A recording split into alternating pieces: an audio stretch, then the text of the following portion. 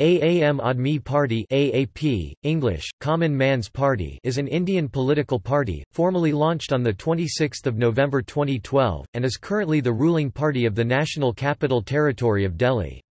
It came into existence following differences between the activists Arvind Kejriwal and Anna Hazare regarding whether or not to politicize the Popular India Against Corruption movement that had been demanding a Jan Lokpal bill since 2011. Hazare preferred that the movement should remain politically unaligned while Kejriwal felt the failure of the agitation route necessitated a direct political involvement. The party made its electoral debut in the 2013 Delhi Legislative Assembly election, where it emerged as the second largest party, winning 28 of the 70 seats. With no party obtaining an overall majority, the AAP formed a minority government with conditional support from the Indian National Congress. A significant part of its agenda was to quickly introduce the Jan Lokpal Bill in the National Capital Territory of Delhi. When it became clear after the election that the other major parties would not support this bill, the AAP government resigned. It had been in power for 49 days. In the 2015 Delhi Legislative Assembly election, AAP won 67 of the 70 seats in the assembly. Among two national political parties, the Bharatiya Janata Party won three seats, while the Indian National Congress did not win any.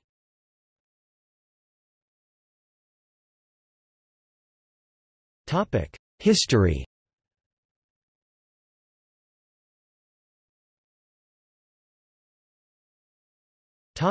India against corruption movement The AAP has its origins in the India Against Corruption movement organized by Anna Hazare, Arvind Kejriwal and some other social activists who had been involved in Team Anna, a strand of the anti-corruption movement for a Jan Lokpal bill that had gained momentum in India during 2011 and 2012. Hazare had wanted to keep the movement politically neutral but Kejriwal considered that direct involvement in politics was necessary because attempts to obtain progress regarding the Jan Lokpal bill through talks with existing political parties had, in his opinion, achieved nothing. A survey conducted on a Facebook page that purported to be operated by India Against Corruption and other social networking services had indicated that there was wide support for politicization. Hazare rejected the poll, saying, Elections require huge funds, which will be tough for activists to organize without compromising on their values." He also said it would be difficult to ensure that candidates are not corrupted once elected. Hazare and Kejriwal agreed on 19 September 2012 that their differences regarding a role in politics were irreconcilable. Kejriwal had support from some anti-corruption movement activists, such as Prashant Bhushan and Shanti Bhushan, but was opposed by others such as Kiran Bedi and Santosh Hegde. On 2 October, Kejriwal announced that he was forming a political party and that he intended the formal launch to be on 26 November, coinciding with the anniversary of India's adoption of its constitution in 1949.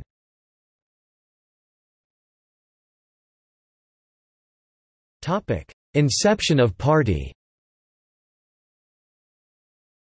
The party's name reflects the phrase Aam Aadmi common man whose interests Kejriwal proposed to represent. A party constitution was adopted on 24 November 2012, when a national council comprising 320 people and a national executive of 23 were also formed.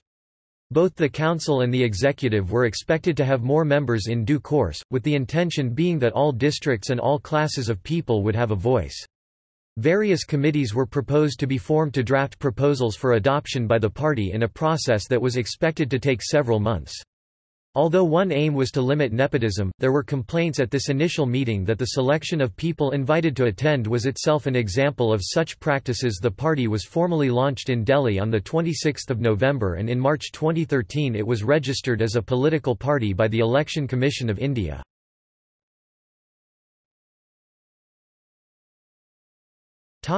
Initial period On 18 May 2013, a group of Indian Americans from 20 different cities in the USA held a convention in Chicago and extended support to the AAP. The convention was attended by two AAP leaders, Kumar Vishwas and Yogendra Yadav, and Kejriwal addressed it via video conferencing. Aruna Roy and Medha Patkar, who had differences with Kejriwal on certain issues, supported him after his 15-day fast against inflated electricity bills. On the 22nd of March 2014, the Janata Dal secular party of Delhi announced it would merge with the Aam Aadmi Party, citing Kejriwal's tenure as chief minister of Delhi. Two of the founders of the party, Prashant Bhushan and Yogendra Yadav, left Aam Aadmi Party and formed Swaraj Abhiyan.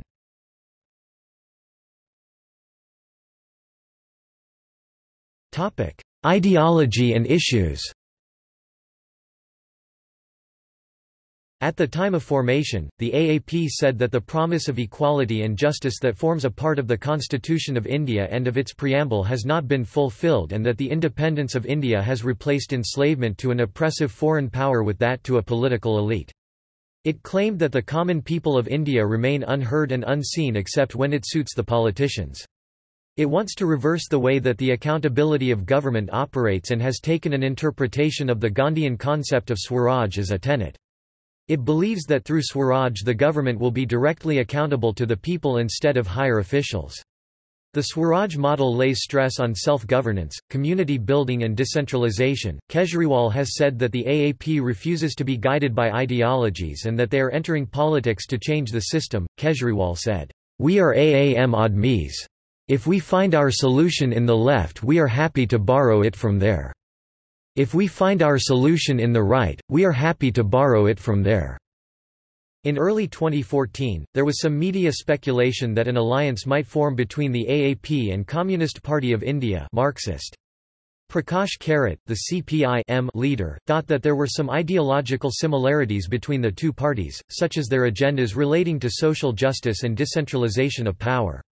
The AAP's Prashant Bhushan explicitly refuted any joining of forces, claiming that there was corruption within the CPIM. A columnist, TCA Srinivasa Raghavan, said that the AAP was right-wing when it came to morality and left-wing when it came to economics. However, the party advocates scrapping Section 377 of the Indian Penal Code and legalizing both homosexuality and same-sex marriage. The party is also regarded as being populist and to the left of the Indian National Congress economically.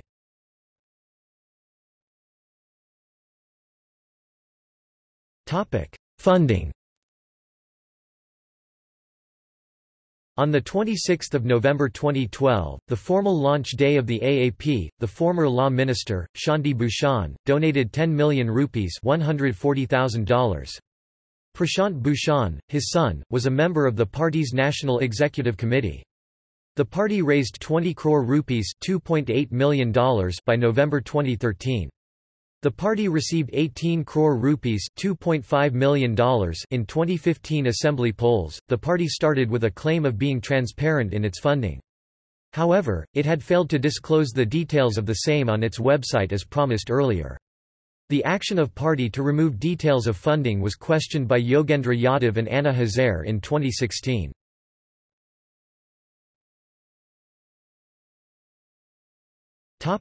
Protests On 23 March 2013, Kejriwal began an indefinite fast in an attempt to mobilize people against inflated power and electricity bills at a house in Sundar Nagri, a low-income group resettlement colony in northeast Delhi. During the protest he urged Delhi citizens not to pay the inflated water and electricity bills. The AAP also demanded an audit of power and electricity supply in Delhi by the Controller and Auditor General of India also supported by civil society groups like National Alliance of People's Movement The AAP claimed that the protest gathered support from 100,000 people in Delhi on a single day and from more than 300,000 people up to 28 March 2013. Anna Hazare urged Kejriwal to end the fast on 29 March and he did so on 6 April. On 10 June 2013, Kejriwal supported the agitation by Delhi auto rickshaw drivers, who were protesting the Delhi government's ban on advertisements on auto rickshaws. Kejriwal claimed the government's ban was because the drivers supported his party and carried AAP's advertisements on their vehicles. He said that the AAP would put 10,000 advertisements on auto rickshaws as a protest. In retrospect, after Kejriwal had been elected and then resigned his position, a union representing the drivers expressed dissatisfaction saying, Arvind Kejriwal, who had won the elections because of the support of the auto drivers, has betrayed them by not fulfilling any of the promises made before the elections." On the 22nd of April 2015, AAP organized a rally in Delhi against a land acquisition bill.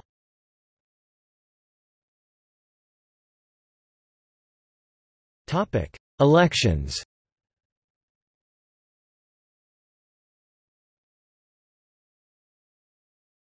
Topic: Delhi Assembly election, 2013 The 2013 Delhi State Assembly elections were the party's first electoral contest. The Election Commission approved the symbol of a broom for use by the AAP in that campaign. The party said that its candidates were honest and had been screened for potential criminal backgrounds. The AAP published its Central Manifesto on 20 November 2013, promising to implement the Jan Lokpal bill within 15 days of coming to power. In November 2013, a sting operation conducted by Media Sarkar, alleged that several leaders of AAP, including Kumar Vishwas and Shazia Ilmi had agreed to extend their support to some people seeking assistance with land deals and other financial arrangements in return for donations in cash to AAP. Ilmi offered to withdraw her candidature as a result but the party refused to accept her offer, describing the footage as fabricated and a violation of the Model Code of Conduct. The Election Commission ordered an inquiry regarding the legitimacy of the video. AAP emerged as the second largest party in Delhi, winning 28 of the 70 assembly seats. The Bharatiya Janata Party is the single largest party, won 31, while its ally Shiromani Akali Dal won 1. Indian National Congress won 8, and 2 were won by others. On 28 December 2013, the AAP formed a minority government in the Hung Assembly, with what Sheila Dikshit describes as, "...not unconditional," support from Indian National Congress. Kejriwal became the second youngest chief minister of Delhi. As a result of the Delhi elections, AAP became a recognized state party in Delhi.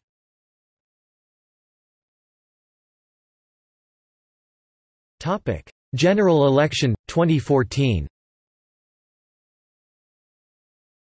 The party fielded 434 candidates in the 2014 Indian general election, in which it did not expect to do well. It recognized that its support was based primarily in urban areas and that different strategies might be required for regions such as Uttar Pradesh where caste-based politics are the norm. The party pointed out that its funding was limited and that there were too many demands for local visits from Kejriwal. The intention was to field candidates in large numbers to maximize the likelihood of recognition as a national party by the Election Commission. The outcome was that four AAP candidates won, all from Punjab. Consequently, AAP became a recognized state party in Punjab. The party obtained 2% of all votes cast nationwide and 414 of its candidates forfeited their deposit by failing to secure one-sixth of the vote in their constituencies.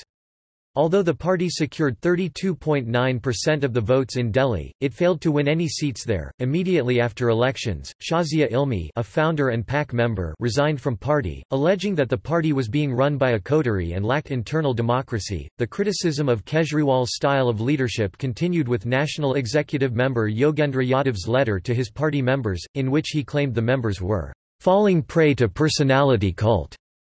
He said, let me reiterate that Arvind Bhai is no ordinary leader and there are no two opinions about his continuing as the national convener, nor have I ever doubted his status as first among equals within the party's leadership. The real question is whether there are limits to personal discretion of the leader. After the National Executive meeting on 8 June, the party and Kejriwal acknowledged these differences and announced the launch of Mission Vistar Mission expand to include more people in local as well as national decision making.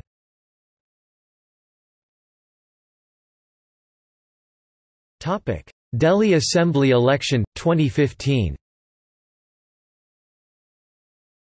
The Delhi State Assembly elections for the 6th Legislative Assembly of Delhi were held on 7 February 2015 as declared by Election Commission of India. The Aam Aadmi Party scored a landslide victory by winning a majority of 67 of the 70 seats. The BJP was able to win three seats and the Congress Party saw all its candidates lose. Kejriwal became the chief minister for the second time.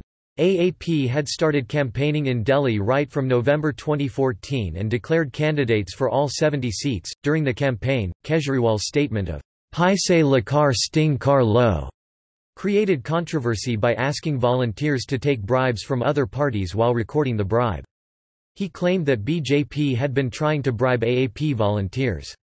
The situation caused the Election Commission of India to instruct Kejriwal to desist from breaking the laws governing the Model Code of Conduct for Elections in India, but the Delhi court then allowed Kejriwal to challenge this. President's rule was subsequently rescinded and Kejriwal became the chief minister of Delhi with six cabinet ministers Manish Sisodia, Asim Ahmed Khan, Sandeep Kumar, Satyendar Jain, Gopal Rai, and Jitendra Singh Tomar. Major differences surfaced within the party leadership soon after the party's victory. It created deep fissures between the founding members who had together championed the India Against Corruption movement. The problems emerged in February 2015 when Yogendra Yadav and Prashant Bhushan wrote a joint letter to the national executive highlighting Kejriwal's tendency to unilateral decision-making which they alleged had compromised the party's core principle of Swaraj. After continued allegations, counter-allegations and several failed attempts of reconciliation between the two sides, Yadav and Bhushan were first removed from PAC and later from the national executive after the party's National Council passed a resolution to expel them for their alleged anti-party activities. Party leaders refuted accusations made by Yadav and Bhushan at the meeting that party was murdering democracy and resorting to intimidation. In April 2015, Yadav, Bhushan, Anand Kumar and Ajit Jha were removed from the party.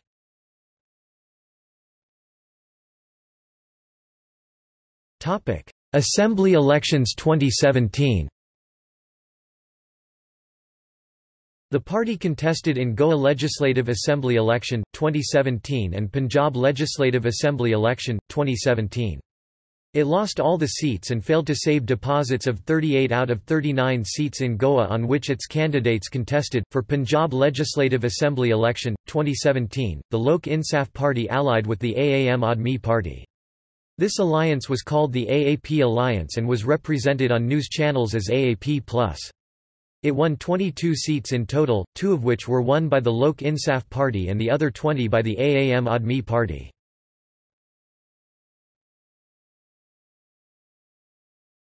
Topic: Electoral results.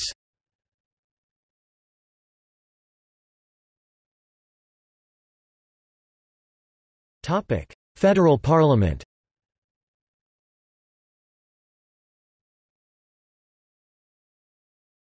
Topic: Lok Sabha.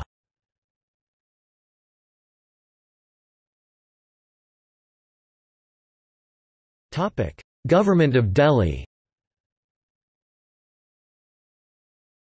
2013–2014 After coming to power in Delhi, Kejriwal announced a reduction in electricity bills for up to 400 units, driven by subsidy. He also ordered an audit of power distribution companies. The AAP government also announced that the homes with metered connections would receive 20 kiloliters of free water per month, but will have to pay 10% more if they exceed that limit. The government scrapped foreign direct investment in multi-brand retail. It established an anti-graft helpline for the citizens to report corrupt officials. The government's plan to conduct Janata Durbars, public hearings with ministers, was abandoned due to mismanagement. Vinod Kumar Binny, an AAP member of the Legislative Assembly was expelled after rebelling against the party. On the 20th of January 2014, Kejriwal and his ministers staged protests at Rail Bhavan against the Union Government Home Ministry. These came after his law minister, Somnath Bharti, had been dissatisfied with the response from the Delhi police to allegations relating to a neighbourhood popular with immigrants from Uganda and Nigeria.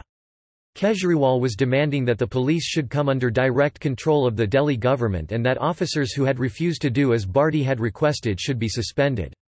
He said that the protest will not hamper his work as he had brought along files and would carry on working from the venue of the protest.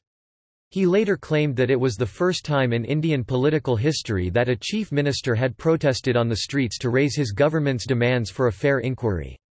After two days, he ended his fast when the lieutenant governor, Najeeb Jung, intervened by suspended two policemen involved and set up a judicial inquiry. Also in January 2014, the party's office in Ghaziabad was attacked by right-wing activists protesting against Prashant Bhushan, who has expressed a personal opinion against the Armed Forces Special Powers Act in Jammu and Kashmir by talking of a referendum in that state to decide whether the people want the army to handle internal security.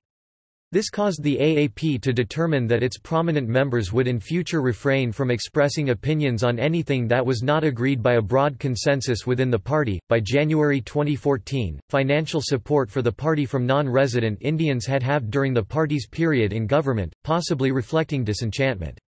The party also admitted that its systems may have significantly overstated members introduced through a nationwide recruitment campaign that was affected by hoaxers. In February 2014, the AAP tried to introduce a Jan Lokpal bill in the Delhi Assembly, however, Jung said that the AAP government tabling the bill without his agreement would be unconstitutional because the correct procedures for introduction had not been followed. This view was supported by Congress and the BJP, and Jung advised the Assembly Speaker not to allow the tabling. The AAP government stated that it was following all the procedures and there was no need to obtain prior approval from the centre or lieutenant governor to table the bill and tried to table the bill. When BJP and Inc. blocked the introduction of the bill, the AAP government resigned and Delhi was placed under president's rule instead. Kejriwal alleged that there was a nexus among Congress, BJP and the industrialist Mukesh Ambani, and the two parties had ganged up against AAP after it filed a first information report against Ambani. In March, the party declared that it would seek re-election. Topic 2015 present.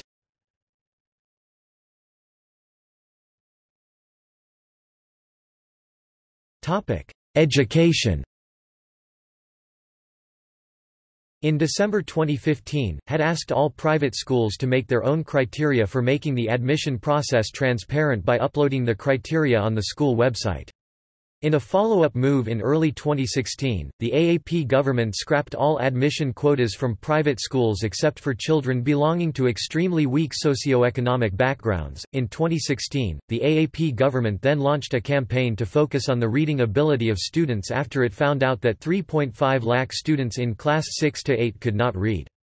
It ran a 2-month crash course which it claimed led to one lakh such students now being able to read their textbooks. The government also formed a panel to investigate the finances of schools in Delhi.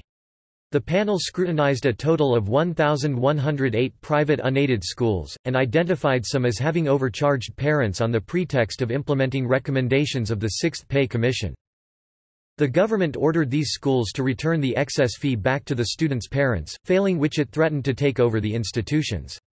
The announcement received mixed responses, some perceived it as a justified attack on financial malpractice and unjustified fee hikes while the Delhi High Court has been of the opinion that the government should stop meddling in private school affairs. In October 2017, the AAP government announced that it will inaugurate over 5,000 new classrooms in more than 100 Delhi government schools.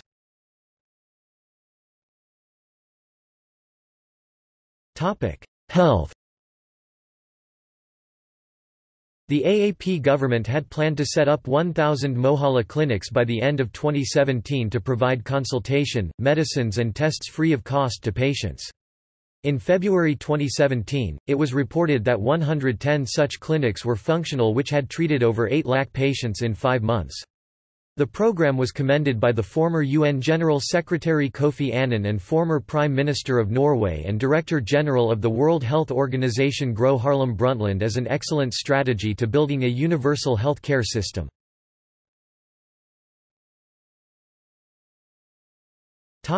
Shunglu Committee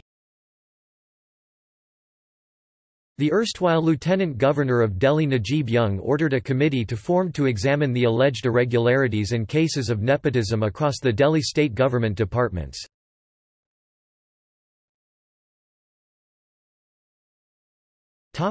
Published accounts.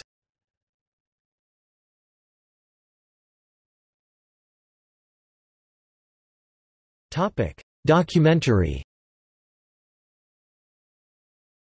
An Insignificant Man, a 2017 Hindi, English-Indian socio-political documentary co-produced and directed by Khushbu Ranka and Vinay Shukla and also co-produced by filmmaker Anand Gandhi. The documentary is about the rise of anti-corruption protests in India and the formation and rise to power of the Aam Aadmi Party.